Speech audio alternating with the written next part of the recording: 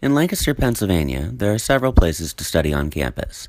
I spoke to several students to find out where they like to study. My the dorm best. room is very full of distractions. So as much as I want to try and stay in there, and as you know, I have my own bed and I can lay down and study, I can get distracted real easily. I don't like a lot of people around me when I study. I don't like it to be loud.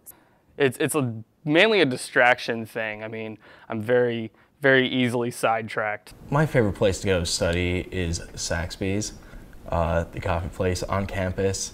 My favorite place to study is probably here in Bassler Hall because I spend 90% of my time here anyway doing stuff for MUTV, so it just works for me to study in this hallway as well.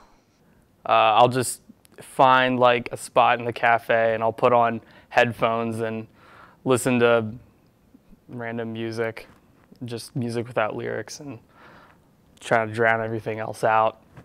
And that's how I do it for the most part. My favorite place to study on campus would have to be the library because it's like an anti-procrastination zone. If you see everybody around you working, it really helps you to work and not procrastinate. Or there's a room in Hash, I think it's 126, that they just kind of put tables in and it's like a hangout place, but no one really uses it to hang out, so it's pretty quiet in there, so I go and study in there sometimes.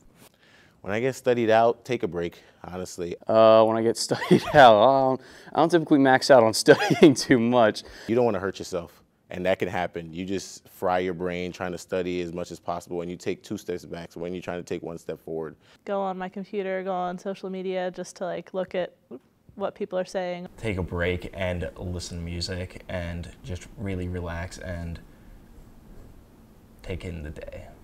I just kind of take a step back. So I kind of do it in increments, I because if I try and do it at hours of, at a time, I don't feel like I'm getting anything accomplished, so I just kind of try and break it down.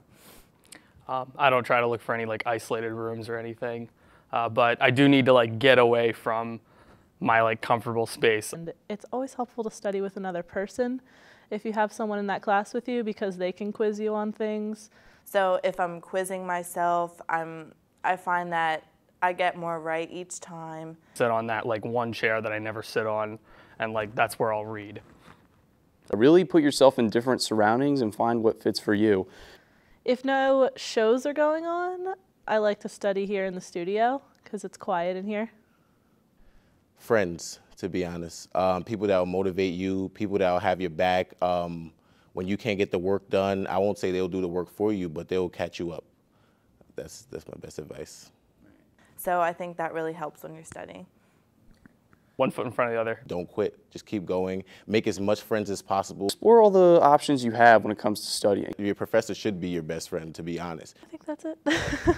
These are only a few of the places that Millersville University has to study. I'm Jared Sullivan reporting for MUMM,